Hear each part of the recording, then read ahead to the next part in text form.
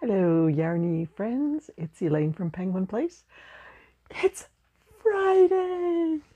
Yes, I am so excited to have a weekend at home where I can catch up on crafts, where I can stay in my pajamas till noon, and I will have to do laundry and a few other things. But it's Friday. It's okay. So I want to fill you in on my exciting weekend plans. That means telling you the three works in progress that I've got going right now, and um, a few other little things I'll be working on. So, one I've shown you before. It's the hat with Bernat Softee Chunky, and I may have done like one row since the last time I showed it to you. I really need to work like work on this for 15 minutes, work on something else for 15 minutes, but eh, I'm easily distracted. Another work in progress that I just started this week was a free pattern that I saw on Instagram from Little Crochet Farm, and it is Lady Liberty. It's a little Statue of Liberty doll. And the detail on this thing is incredible. That's why I wanted to make it. Doesn't look much like Lady Liberty yet, does it? She needs her arm, her book. I've already done the little cowl that goes around um, her hair, her crown, her torch. Did I say her arms? So there's a lot of little pieces left to do, and then I get to sew her together. So it's there's a very good possibility I could finish her this weekend, especially since they're little pieces. It's like okay, I'm going to sit here until I finish this. It's doable. The other one, Joanna made me do it. I have seen this pattern and heard about this pattern. Um, I can't remember. I think it's Cheryl's Creations. Cheryl with an S. Um, she talked about making the Turtle Memory Game by Stitched by Shari, Shari Duckett. She said she made one, she posted it on Facebook, she got orders for several more, and I was like, that's really cute. I want to make that. It's it's a big mama turtle, and then you have all these little turtles, and I realized I did not bring the one little turtle I have made that fit inside the mama turtle, and each baby turtle has a little spot on the underside. Sorry, this is very noisy here. Try to keep. So when you when you make the baby turtles, you make two of each of that color spot. So then the kid kiddos can like pull the baby turtles out and play a matching game with them. And I think this would be perfect for my grandchildren and um, my friend Joanna sent me a message saying, Isn't this cute? You should make this. And I was like, Oh, you know, you've got the one on the shoulder saying, No, no, no, no, no. Sales have been down lately, and you've got so many patterns to work on, and you you just don't have the time to do something like that. And on the shoulder, but it's so cute and the grandchildren will love it and i'm sure that other people if you put it in your etsy shop you know people will buy it so this one won i bought the pattern she has the mat the, the turtle matching game and an octopus matching game so i got the bundle with both of them and now i'm going to be making all this fun stuff but one thing if you go to etsy and you search for turtle matching game the original creator of it is stitched by Shari, Shari Duckett, D U C K E T T. There are a lot of people who have copied her pattern and are selling it for less. Some of them are even using her pictures, which is not cool. So, as a pattern designer, I would say please buy from the original person. Don't don't go to the people who just copied her pattern and are selling it cheaper. You know, she thought it up.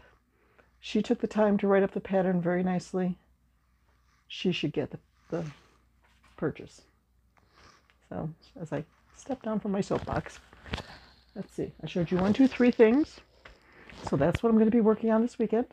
I also, oh, did I show you my shirt? My shirt says, I only buy yarn when I need it for a project. Or because it's on sale, because it's pretty, or because I want it. That sums it up. I got it on Amazon. I just I just love the crochet t-shirts. They're my summer go-to wear, just to wear a crochet t-shirt. Sometimes I'll be out grocery shopping and somebody will say, "Oh, I like your shirt. What do you you do? You, do you knit?" And I'm, I'll tell them I knit and crochet. Give them a card for my shop. Show them on my phone some of the stuff I've made. I don't know if I've gotten any orders from that, but you can hope. So this weekend, I'm also going to get stuff lined up for my May project list. I do have it all made up. I did update my critter, my crazy critter challenge. Before I was doing it by rolling a dice. And, you know, there's only six possibilities for color, six possibilities for critters. I redid it so that I have nine possibilities for the body color, 10 possibilities for the critter, 10 possibilities for the accent color, and 10 possibilities for the accent. And then I'm doing a random number generator to pick a number between 1 and 9,999. And the random number generator picked for my next project a, a light green bear with a black ruffle. So that should be interesting. It's it's fun to add more details to the list. And I also need to load up a Ziploc bag with scrap yarn because for my scrap yarn challenge this month, I'm not going to say I want to make five projects or three projects or six projects. I'm going to have a gallon size Ziploc bag and I'm going to put a whole bunch of my little bits of yarn in there, nice selection of colors, and work on using it up. So, ta-da! Those are my weekend plans. What you gonna do this weekend? Got any fun projects you're working on? Just let me know in the comments. I like reading the comments. And my my channel is still small enough that when somebody comments, I can go and read it and check it out and answer them. And it's not like I'm just so overwhelmed with tons of comments that I can't handle it.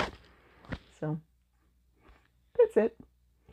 I did have a um, a little black rain cloud, little black rain cloud that is hovering over my Etsy shop right now. I got a copyright infringement strike this morning. I have made these little covers, little crocheted covers that fit over a cube tissue box and they have a hole in the top so you can pull the tissue out. I think I have a couple of owls and a pig. And it's one of my oldest listings because I probably made the covers five, six years ago. And um, that was before I knew about search engine optimization and copyright infringement and all this and that. Well, I used the word Kleenex in the listing. And the legal team from that company reported me to Etsy. I have removed the word from the listing and I replied to the email that they provided for the legal team saying, I am sorry, it was unintentional. I made the listing years ago before I knew about copyright infringement stuff. I have removed it. Would you please withdraw your your um, your complaint against me? And so far, I have not heard back from them. I have not heard back from Etsy saying that the um, they said that they're putting a hold on my funds. So hopefully all this will get straightened out. Like it just seems so petty, but you know, it is it is copyright infringement. They have sole right to the use of that that their name and I should not have put it in there. I just wasn't aware of things like that years ago when I put the listing up. And all the times that I've renewed it since then, I just never noticed it. So I have corrected it. I now know the error of my ways, and I will no longer use their name to describe a box of tissues. So we'll see. Hopefully, this isn't going to have any negative repercussions for my shop for, for Etsy.